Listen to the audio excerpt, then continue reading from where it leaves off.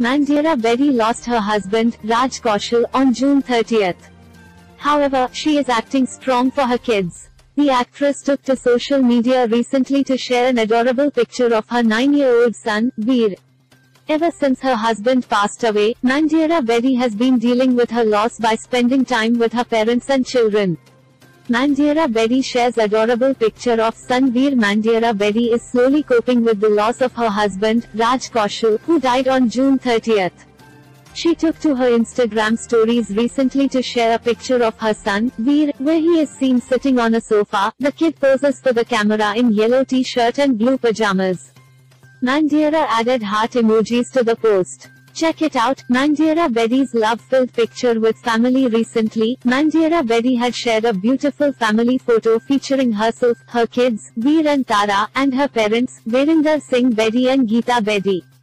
This is the first time that the actress posted family photo on social media after the sudden death of her husband, Raj Kaushal.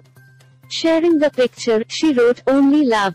Hashtag grateful for my hash family and all the love, support and kindness hash gratitude hashtag love hash thanks.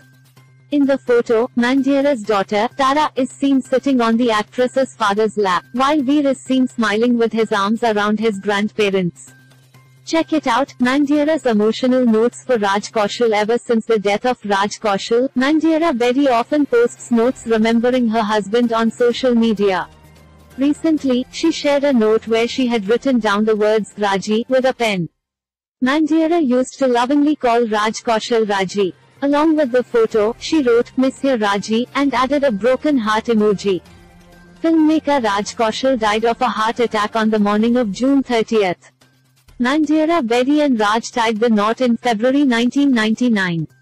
Raj is survived by his wife, Mandira, and two kids, Vir and Tara, 49. Director Onir confirms respects.